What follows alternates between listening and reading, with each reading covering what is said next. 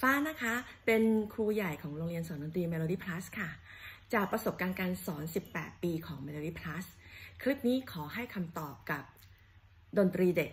อายุ 3-5 ขวบให้กับผู้ปกครองนะคะ ผู้ปกครองมักจะถามบ่อยว่าเออน้องเรียนไปแล้ว 1 คอร์ส2คอร์ส3คอร์สคือตอนนี้ยังไม่เห็นจะได้อะไรที่ชัดเจนแล้วอนาคตของน้องจะยังไงต่อ อ่าคือเริ่มจากหลักสูตรก่อนนะคะ Music for Little Mozart เป็นพื้นฐานดนตรีเด็กเล็ก ซึ่งไม่ได้เป็นคอร์สเปียโนค่ะจะเน้นไปทาง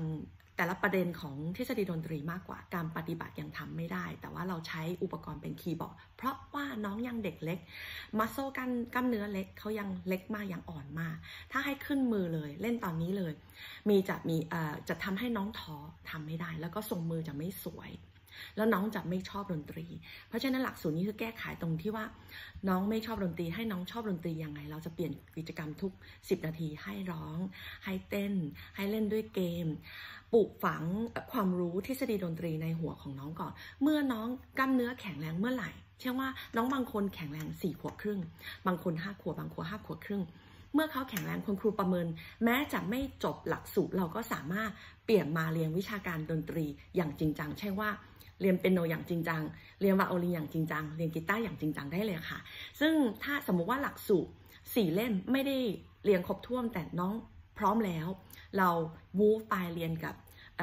วิชาที่เขาจะเรียนจริงจังเนี่ยเราจะเปลี่ยนหนังสือให้ทันที แล้วก็บางครูที่ไม่ได้สอนวิชา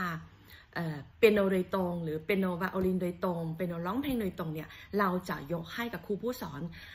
หลักสูตรนั้นโดยตรงเลยค่ะ แล้วก็หลังจากนั้นเมื่อน้องแข็งแรงแล้ว คุณครูที่รับสอนไปเป็นประจำแล้ว จะประเมินว่าน้องไปถึงเลเวลไหน เราสามารถเข้าบอร์ดสอบของ Trinity College London ได้หรือยัง ซึ่งเด็กน้อยที่ที่อายุน้อยสุดอะค่ะคือ 4 ขวบครึ่งได้สอบ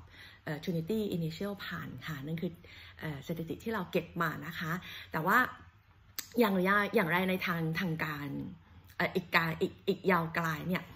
ยังไงก็คือน้องที่เริ่มเร็วตั้งแต่ 3 ขวบกว่ามาเรียนหลักสูตรตัวนี้ เขาจะจบเกรด 8 ซึ่งเป็นเกรดที่สูงที่สุดของไม่ใช่มืออาชีพนะคะ เกรด 8 ของ Trinity น้องจะจบเร็วมากก่อนอายุ 13 แน่นอน พออายุ 13ม3ม4ม5เนี่ย น้องไปทำอย่างอื่นได้เลย น้องมีพื้นฐานดนตรี แล้วก็มีทฤษฎีดนตรีที่ดี สามารถเล่นด้วยตัวเอง enjoy